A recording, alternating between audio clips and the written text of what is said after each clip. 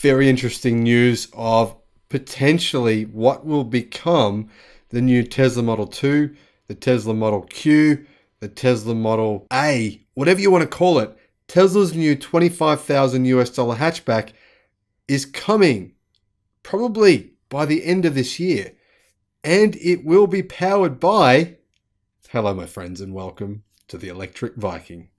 Fantastic to have you here on the channel. Great to have so many new subscribers. Welcome, all you new subscribers. Welcome back to everyone else. Now, if you are new, or if you're not new, make sure you check out some of the 700 plus videos that we've created over the last six months. There's a lot of information there that you just aren't going to find anywhere else at all. So, what's happening? Tesla. Wow.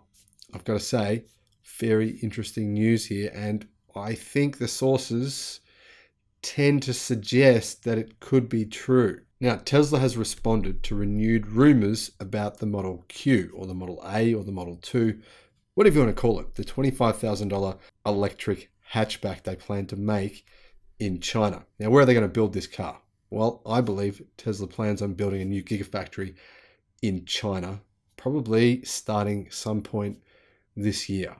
Now, recent rumors suggest that the new car will go into production at Giga Shanghai, though, and will be powered by BYD's Blade battery, which will begin testing at the end of this year for delivery at the start of 2023. Now, rumors of a cheaper Tesla Model Q, Model 2, Model A, whatever, just a new hatchback, have resurfaced recently in China, to which the company's China team has actually responded, surprisingly. Now, several Chinese reports recently said that Tesla will officially launch the new Model Q in 2023. CNEV Post says that it will be priced from 25,000 US dollars and it will be powered by BYD's Blade battery. If you haven't heard about the Blade battery, well, yeah, you probably should know about the Blade battery. It is a very interesting piece of technology. Energy density in lithium iron phosphate batteries, the batteries that the Blade battery uses, is lower than energy density in a comparable NCA or NCM chemistry battery. But a huge advantage of blade batteries is they don't set fire, even if they're involved in a crash. And BYD says the battery will, should last around about 2 million kilometers. In fact, if you buy BYD right now, you get a 500,000 kilometer warranty on the battery, 500,000 kilometers. And that guarantees you a minimum of 60% of the original capacity after half a million kilometers. I mean, that is enormous. Now, one of the other things that people forget about lithium iron phosphate battery chemistry is you can charge those batteries to 100% constantly, discharge them all the way to zero, and it really does nothing to hurt the battery at all in terms of battery degradation. It doesn't affect it. Big advantage versus pretty much all other batteries on the market. You know, most batteries that are in electric cars at the moment, realistically, you shouldn't charge them any more than about 90%. And 80% is ideal. And you shouldn't discharge them really below 20% unless you have to, and if you're on a road trip or something like that. So that's the big advantage of LFP batteries. But I have made other videos about those batteries, going into more depth, in fact, on BYD's 800 volt platform, which is what it looks like Tesla will use to build the Model A, the Model 2, Model Q, whatever you want to call it.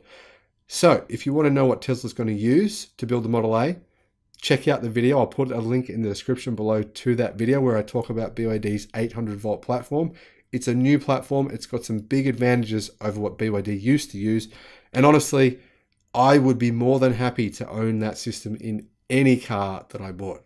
So there you go. That's my glowing praise, my recommendation. But check out the video first. Now, Tesla's China team, when asked about this, the Tesla model, $25,000 model being built using BYD's Blade battery, said that it was not aware at this time, according to a report today by the Global Times. It's not aware at this time.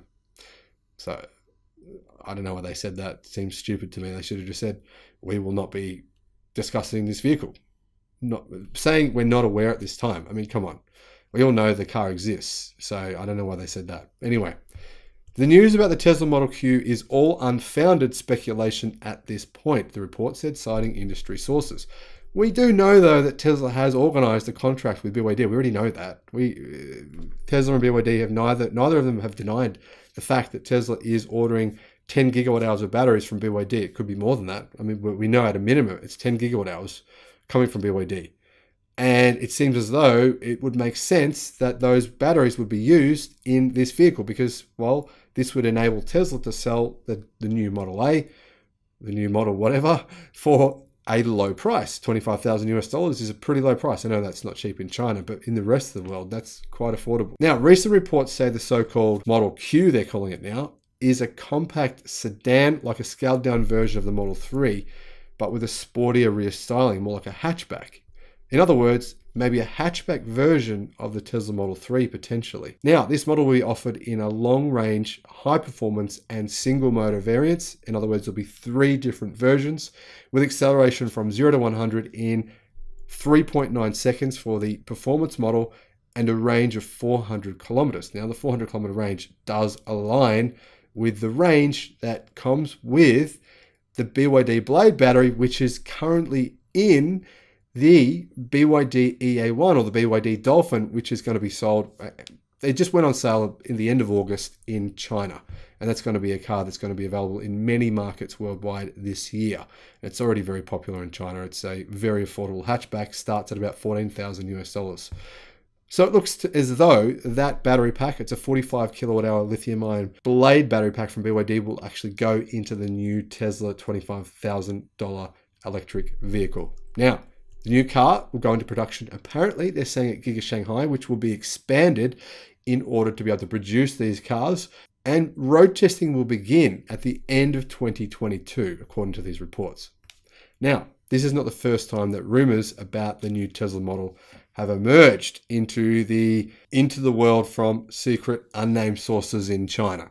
Now, in 2020 there were several plans for Tesla to launch a $25,000 Model 2 but these were denied. Well, now in September of 2021, Elon Musk said that Tesla's $25,000 compact electric car will be launched in 2023 and it will be built and designed in China. Of course, this report could be made up, but quite honestly, I think it's legit. I think it's real, and I think Tesla's new Model A, Model 2, Model Q, whatever you want to call it, will come with BYD's Blade battery and probably come with the three variants this report cites. I think it's legitimate and I think it's real. And in fact, I actually think that Tesla has already basically designed this car. I think they've already prototyped this car. I think they're much further along with this car than they are letting on. Development has been going on with this car for more than a year now. I really think that it's going to be shown to the public sometime in the middle of this year, maybe even sooner than that. But whatever the case, I am very excited to see this because honestly, a lot of people want a car, an electric car from Tesla that they can afford. And 25,000 US dollars is in a lot more people's budget than 40,000 US dollars for the current Tesla Model 3. Plus, hatchbacks. I mean, they're way better than sedans. I don't know who you are, but you know, they're just so much more practical. But that's what I think. Let me know what you think in the comment section below. Do you think I'm right on this? Is this report accurate? Will you consider buying a Tesla for 25,000 US dollars if it comes with BYD's Blade battery. Now, I think this is actually a positive. Remember, Elon did say that he thinks the battery chemistry of the future is LFP. He didn't say NCA or NCM chemistry, which is what's in, you know, the Tesla Model S Plaid, the Model X, the, the stand, the, the performance version of the Model 3, the performance version of the Model Y. He said it was LFP chemistry. And you know what? If you're a long time watcher of this channel, you can see why I agree. I've talked about the benefits of LFP. There's so many benefits. I mean, here's one, right? One of the watchers of this channel, Paul, who has a business called BYD Drive. Check him out on Facebook. I'll put a link in the description below to his Facebook page. He actually owns one of the first BYD vehicles sold here in Australia, which he just picked up over the Christmas break. That is an impressive vehicle, by the way. Now, he actually has batteries that run his house, way more battery storage than he even could ever dream of needing. And they come out of a BYD bus when it reached the end of its usable life. That's how good the batteries are. So, Really big benefit having BYD blade battery. So I really do hope this report's true. Let me know what you think though in the comment section below. Have an awesome day, and I'll see you again on the next video.